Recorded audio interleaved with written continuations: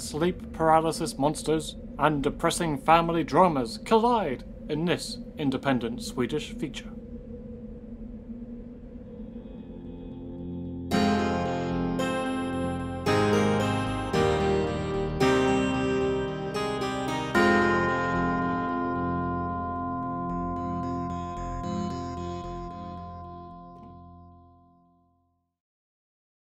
The film opens with the on screen dedication for Mum and for Dad. I miss you. A nice sentiment, but it also lays out the tone of the story to come. Marianne is a film based in grief and familial tensions. Our protagonist is a man named Krister, who seems to suffer a tremendous amount of misfortune. In the main plot, Krister's wife Eva has just passed away in a car crash where he was in the driver's seat. This leaves him alone to care for both their newborn baby Linnea and teenage daughter Sandra. The older child despises his guts and is in the middle of a rebellious streak.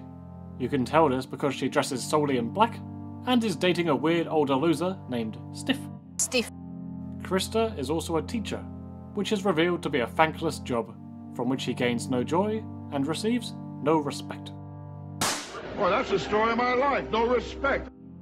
He also appears to have very few friends, and instead finds southern comfort from frequent glasses of whiskey. So, this character is a bit of a sad sack. Do we feel sorry for him?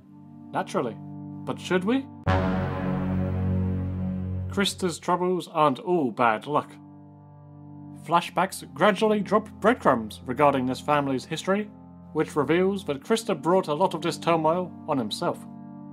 In short, he was a cheating bastard, breaking up his family over a long term girlfriend, the titular Marianne, who has also wound up dead, incidentally. His wife had recently taken him back after a long separation, hence the baby, but the cracks in the foundation had been firmly and irreparably established. With all this guilt and grief piling up on Krister, it is no wonder that his blood pressure is higher than the Burj Khalifa, and his mental state requires therapy. Worst of all, at night, Krister now wakes in a state of paralysis, as some manner of demon or monster haunts him.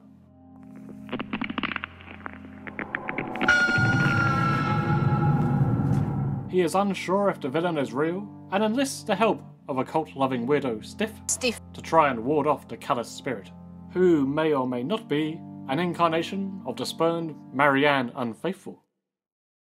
The sleep paralysis angle is the obvious draw for this film. Of all the weird phenomenons that one may actually encounter in real life, sleep paralysis is one of the creepiest. I have only experienced it the one time, when I felt the presence of a menacing, hunched old woman in my bedroom, inexplicably caused by falling asleep during End of Days, of all fucking films.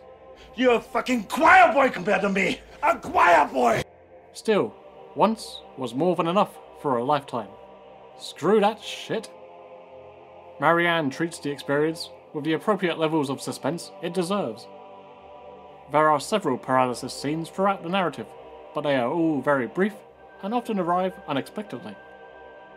Each time you invest in the personal dramas, then realize you have returned to Krister's haunted bedroom, a very real tension kicks in.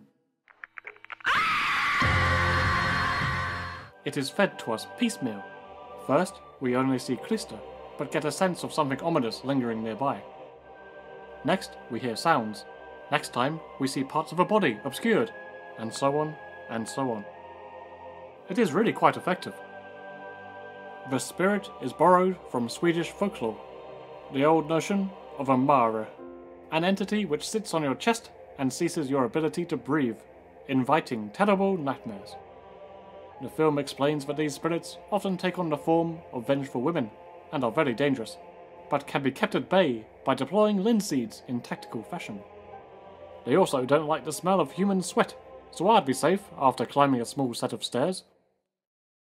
The trouble with Marianne is that it clearly is made very independently and is the work of a first time filmmaker, so the final product still feels a little rough around the edges. The opening credits feel like the editor just slapped on a random Windows Movie Maker font and called it a day. You thought it was scary for a mare to suddenly appear? what about the unexpected appearance of a boom? The overarching story is told well, but the dialogue sometimes leaves much to be desired. Stiff. Perhaps it needed another pass at the script or two. The cast is mostly comprised of amateurs, so I don't want to throw much shade their way. Sandra Larsson, Dylan Johansson, Tintin Anderzon, and this guy, who looks like he really wants to tell me that it's Friday. He's in love. The two bigger players in the cast are Thomas Hedengran, who is known in Sweden, and Peter Stormare, who will be more recognisable to international audiences, appearing in the likes of Fargo and Jurassic Park 2. Good old Dieter. Having said all that, Marianne is still a promising debut. With a bigger budget and experience now gained, I expect director Filip Tegstedt could have progressed onto some great things. Unfortunately, it appears his film career basically started and ended right here. Aside from a thanks credit for Ghost Shark 2 Urban Jaws. What an honor! If you can overlook the flaws and go with the flow, you'll find a nice little heartbreaking tale of a family that is ripped apart time and time again, with the added bonus of some well crafted sleep paralysis terror. Now, if you don't mind, I'm gonna go destroy my end of days DVD. I can't take the risk.